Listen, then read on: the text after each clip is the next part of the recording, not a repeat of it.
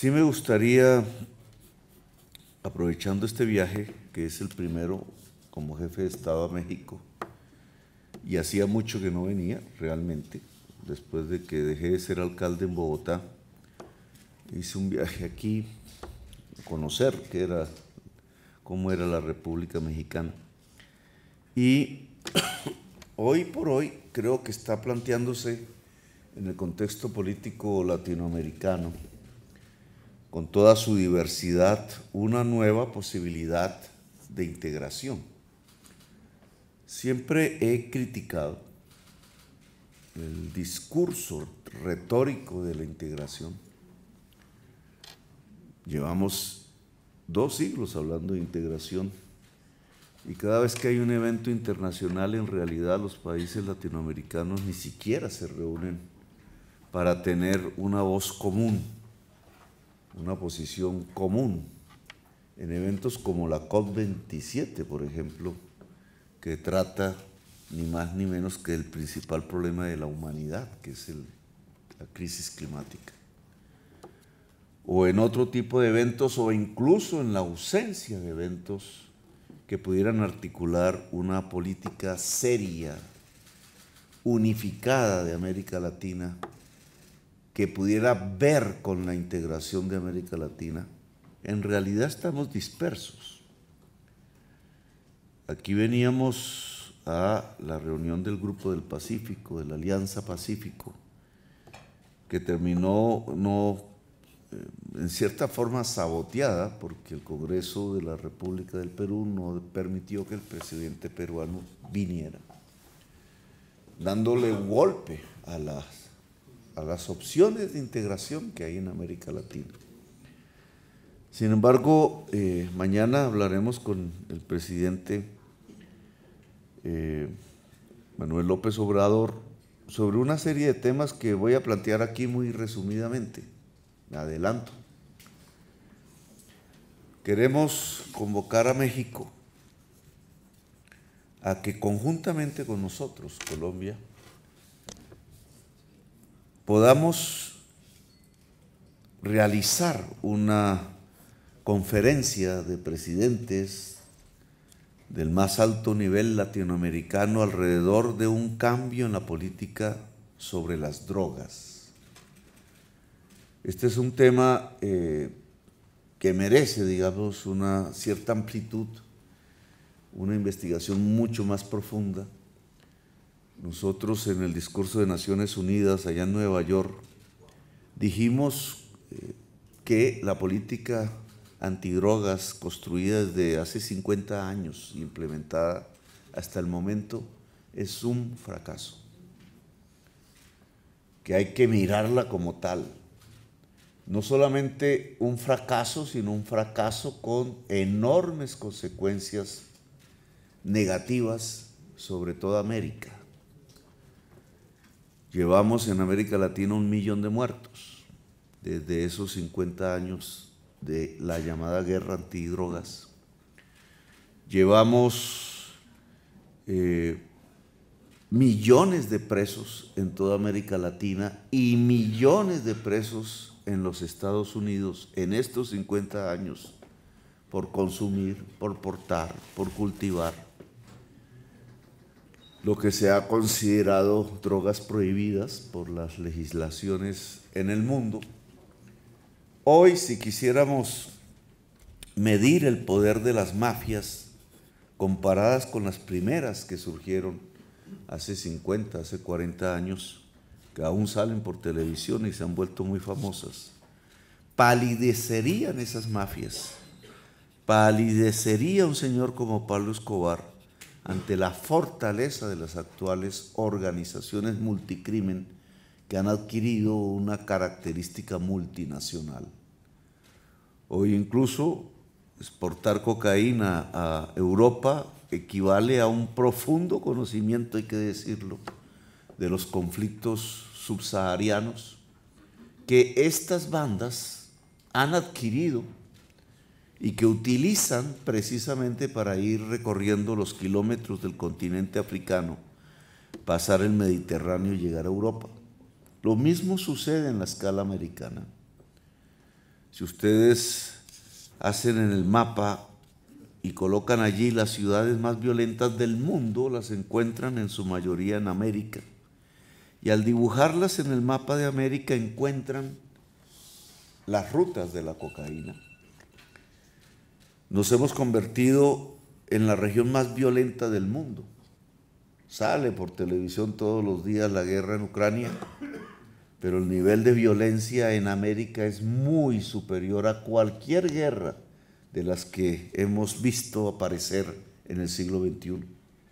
Somos la región más violenta del mundo, nos estamos matando entre nosotros. Y es el producto de la prohibición,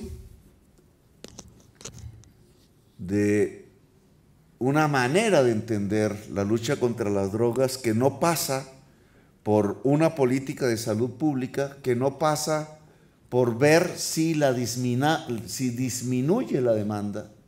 En el avión observábamos una cifra sobre cantidad de personas que consumen, más de 30 millones en Estados Unidos, más de 80 millones en Europa, más de 110 millones de personas, lo cual ya debería llevar a la conclusión de que no estamos ante un delito de que no se puede criminalizar la conducta de 110 millones de personas en el mundo desarrollado, quizás más, porque estos son simples encuestas, y que la manera de tratar ese problema que se ha convertido en una especie de epidemia es una manera social de tratarlo.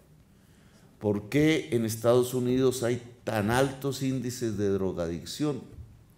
o de consumo de drogas en solitario, como se realiza ahora con el fentanilo, que ya mata a más de 100 mil norteamericanos eh, de los Estados Unidos al año. La cocaína mata a 4 mil.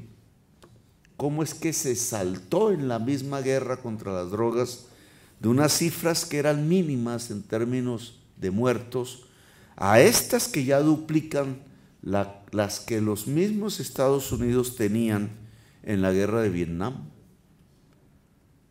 Pues tiene que haber fracasado una política para tener este tipo de resultados. Si midiéramos otros 50 años hacia adelante de la misma guerra contra las drogas en el mismo estilo de política, los norteamericanos tendrían 5 millones de muertos y nosotros un millón de muertos más vale la pena continuar esa política. Si lo midiésemos ya no solo en muertos, sino en desestabilización democrática, en destrucción democrática, pues ya no es simplemente Colombia la afectada, como desde hace décadas estamos, cruzados por lo que yo llamo una guerra perpetua, sino que ese panorama de violencias hoy recorres toda América. Solo con ver Haití encontraríamos una, un colapso estatal producto precisamente de estas rutas.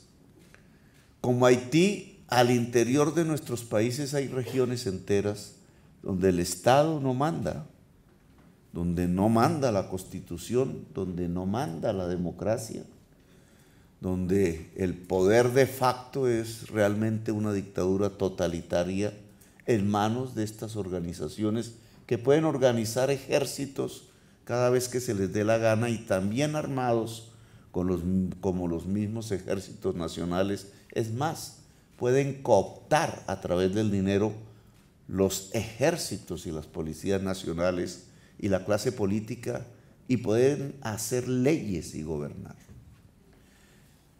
Cuando el crimen gobierna, pues estamos en los tiempos de Hitler.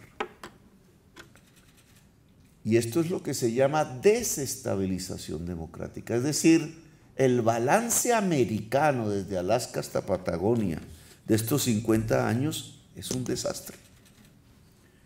¿Por qué los países latinoamericanos no nos hemos reunido a evaluar lo que está impactando tan negativamente en nuestras sociedades, en nuestros proyectos políticos, en nuestras naciones. Porque tenemos que aceptar a pie juntillas una política fracasada que nos está matando. Porque no podemos pensar en otras alternativas. Alguien diría, no, el presidente de Colombia quiere que todo el mundo se drogue, no. Que incluso consumo de cocaína pueda llegar a cero.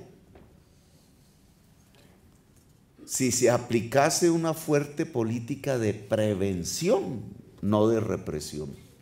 Si se descriminalizara los consumos de sustancias psicoactivas y se manejara esos consumos como lo que son, como enfermedades sociales, porque el crecimiento del consumo del fentanilo, por ejemplo, o de otras drogas en Europa y en Estados Unidos, tiene que ver con la aparición de sociedades tan altamente competitivas que han dejado sin afecto y sin amor a una gran cantidad de personas que simplemente no resisten transformar su vida en una carrera de caballos y terminan perdiendo en esa lógica muy neoliberal de construcción de sociedades que terminan es llevando a una buena parte de su sociedad a las adicciones y a la esclavitud. Este es un tema para hablar con México. Y este es un tema para que México y Colombia puedan convocar a América Latina, con independencia, con autonomía, y contrastar lo que hasta ahora es un discurso dominante falso e hipócrita, que está acabando con nuestras sociedades, nuestra democracia y nuestras naciones. Y ese es un tema. Queremos abordar otros también. Este sería materia incluso de una jornada de varios días y de conferencias. Queremos abordar el tema de la crisis climática, por ejemplo. No ha sido posible que América Latina tenga una posición unificada en ninguno de los eventos internacionales de presidentes que se realizan de vez en vez. 27 ya van para tratar de remediar el principal problema de la humanidad. La crisis climática es el producto de un sistema económico. Inaugurado con la revolución industrial, la atmósfera se ha convertido como un, espejo que va reflejando químicamente la evolución de un sistema económico. Entre más poderoso ha sido ese sistema económico en producir cosas y en consumir, más la atmósfera se ha afectado al punto que la acumulación de gases de efecto invernadero han calentado el planeta de tal manera y en el futuro de manera peor que pueden provocar la extinción de la especie humana y de la vida en todo el orden. Eso dice la ciencia. Obviamente, una especie que se enfrenta a su propia extinción y es consciente de ello, ninguna otra lo ha podido ser antes de extinguirse, debería estar colocando como prioridad de su acción la opción de no extinguirse, de seguir viviendo, lo cual llevaría a una transformación precisamente del sistema económico. Alguien dirá, tendría que superarse el capitalismo. Alguien dirá, el capitalismo podría ser capaz de superar su propia pulsión hacia la muerte que representa el consumo acumulado y ampliado de combustibles fósiles, que es lo que produce la crisis climática. Alguien dirá, el capital no es capaz de detener su propia energía creada por él mismo, sino las nuevas energías producen aumentos de productividad, es decir, de explotación de la fuerza de trabajo mayor. Y si no, no hará el cambio tecnológico. Y si no hace el cambio tecnológico, el capital, como estaba pronosticado hace mucho tiempo, acabará con las propias condiciones de su existencia, el ser humano y la naturaleza. Independientemente de esa discusión, lo cierto es que ha comenzado una época de extinción y que no se mide en milenios, sino en décadas. Y que al medirse en décadas, entonces es urgente la acción, sobre todo porque los primeros y mayores afectados son los más pobres de la tierra. Miren esta paradoja de la desigualdad. Vengo de Colombia, que está inundada. Hay un millón de damnificados, 300 muertos, cantidades de centenares de miles de hectáreas bajo el agua, poblaciones bajo el agua, hambre que ha crecido desde el COVID y ahora con la situación de crisis climática peor, un hambre que crece 32% de la población latinoamericana, según la CEPAL, hoy es pobre, Colombia está en el 40%. A pesar de que el virus ha disminuido su virulencia mortal, el hambre ha crecido en el país. Es nuestro primer reto, incluso como gobierno, en estos tres meses. Ese hambre es el producto de la crisis climática el hambre de hoy. Como Pakistán, Colombia está inundada. Igual Venezuela, lo mismo pasa en Ecuador. El llamado fenómeno de las niñas se ha agudizado como nunca antes en nuestras estadísticas. Tenemos el peor invierno de la historia registrado. Y esas personas que están debajo del agua aguantando hambre con sus casas destruidas, llenas de perjuicios y daños, como es la palabra hoy que hay que usar, ¿a qué deben su desgracia? Y tendríamos que decirlo que deben su desgracia es al confort con que hoy está viviendo un ciudadano medio en los Estados Unidos o en Europa.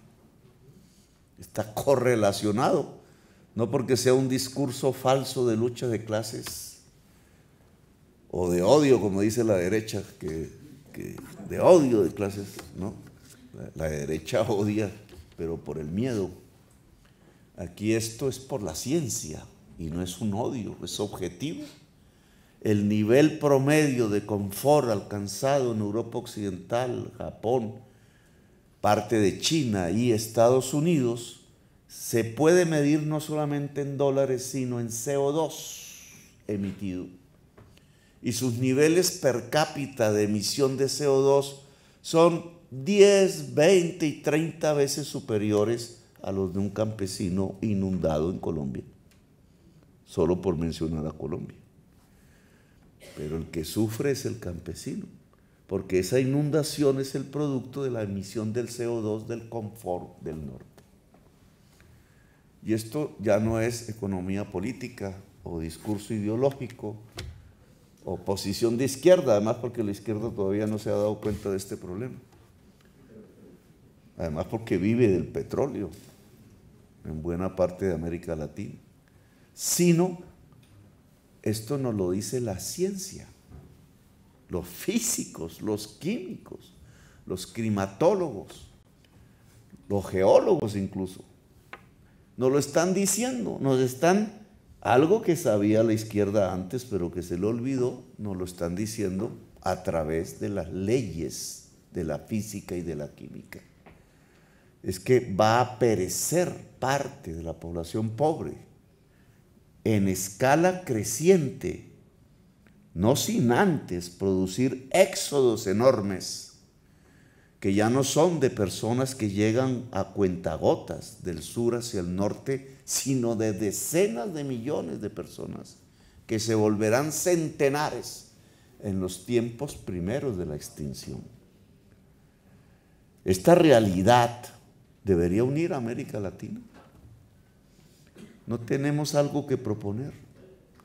No hay una selva amazónica que cuidar que se ha convertido en pilar del equilibrio climático y por tanto en sostén de la vida y está bajo el cuidado de varios países latinoamericanos, algunos de cuyos gobiernos quisieran verla quemar con la posibilidad de extinción.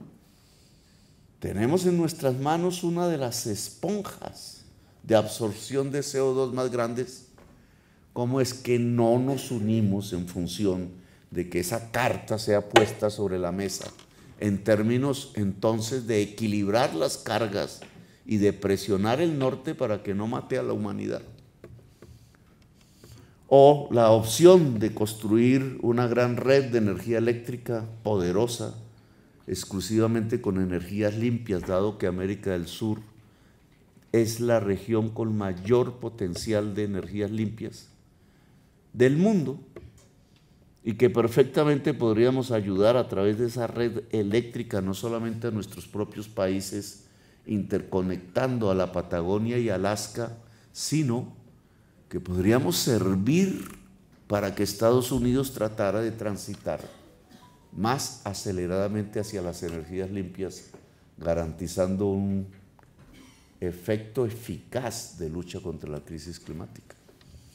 Para eso tendríamos que unirnos, tendríamos que dialogar de estos temas, no llegar cada presidente por separado a esas conferencias, a que simplemente nos pongan el pie en la cabeza con cosas ya predeterminadas e hipócritas porque al final, si no se financia desde el sistema financiero multilateral, reduciendo la deuda, no aumentándola, como se propone hoy, la adaptación a la crisis climática, pues lo que nos están diciendo es que los pueblos del tercer mundo somos considerados desechables. Tema para hablar en América Latina. Y esos éxodos, indudablemente, que ya son de decenas de millones y serán de centenares de millones, están provocando un cambio en la geopolítica y en la política.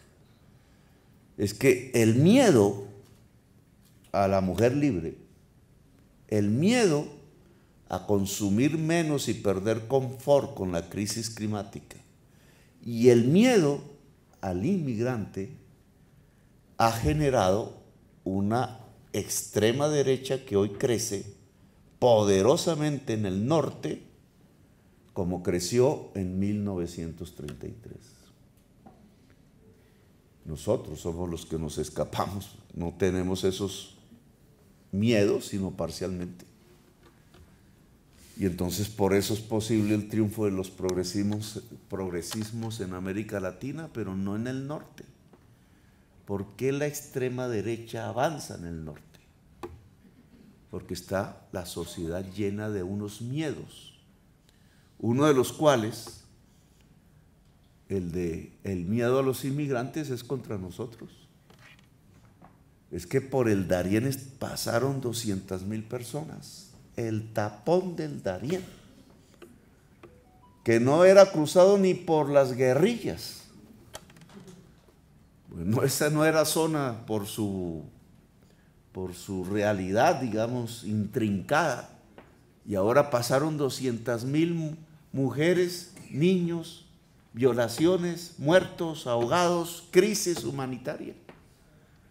Un desastre humanitario.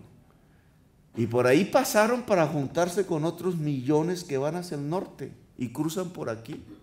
Por eso no tratan bien a los colombianos aquí porque creen que van a cruzar el río Bravo y porque están presionados aquí para detener ya no el tapón del Darién, sino hacer el tapón mexicano de la inmigración. Pero es imposible, porque la misma crisis climática va sacando más y más gente con hambre de los territorios del sur, de Centroamérica, hacia donde está el agua es la humanidad corriendo hacia donde está el agua, si lo quieren en una forma metafórica, hacia donde está la riqueza, pero la riqueza está donde está el agua. Y lamentablemente la crisis climática está secando los ríos, el agua del sur, de la zona tórrida, del subsahara. Y en cambio está derritiendo los hielos en el norte, generando agua líquida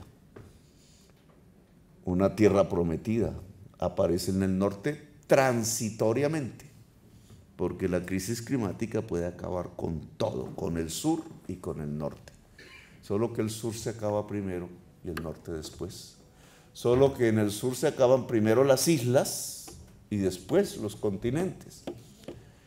La tierra va a seguir, pero la vida va a ser afectada de tal manera que ya incluso el paradigma de la modernidad en el que crecimos nosotros, en el que pensamos hacer las revoluciones, que era suponer que la vida humana era como una flecha que iba en forma ascendente y el progreso era infinito. Esa visión de la modernidad ya no es la de este tiempo, porque nadie puede garantizar hoy que sus hijos vivan mejor que los padres.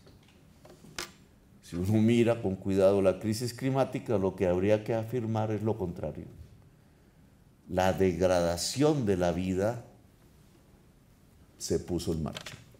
Bueno, estos son temas para hablar, ¿no? La inmigración, la política antidrogas, la crisis climática, son los, las agendas que hoy una América Latina debería construir a través de sus gobiernos, sus sociedades, sus fuerzas políticas.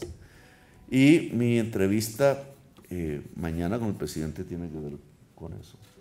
Entonces, como ya creo que la hora colombiana es bastante avanzada dentro de nuestros cuerpos, que ustedes no las tienen ahí, pero nosotros sí, entonces les agradezco mucho su recibimiento. Y ya estaremos conversando. Espero que el, embajador, cónsul, etcétera, abran las puertas de residencias, embajadas. Yo he descubierto que las residencias, canciller, las residencias de los embajadores son más lujosas que las embajadas, donde entra la gente. Eso debería invertirse. Ahí les dejo a nuestros delegados del gobierno. Gracias, muy amables.